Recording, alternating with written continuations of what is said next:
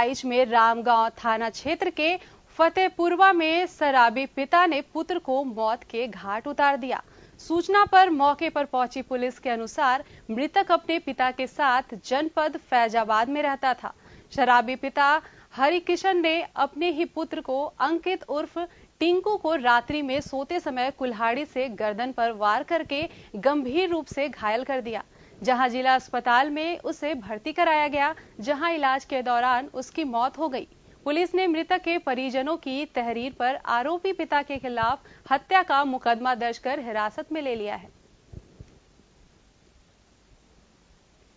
लाल द्वारा अपने सगे पुत्र अंकित उर्फ़ टिंकू, जिसकी उम्र लगभग 18 वर्ष थी, कि सोते समय कुल्हाड़ी से प्रहार कर गंभीर रूप से घायल किया गया, जिसे गंभीर अवस्था में जिला अस्पताल में चिकित्सा के लिए लाया गया, जहाँ उस पर उसकी मृत्यु हो गई।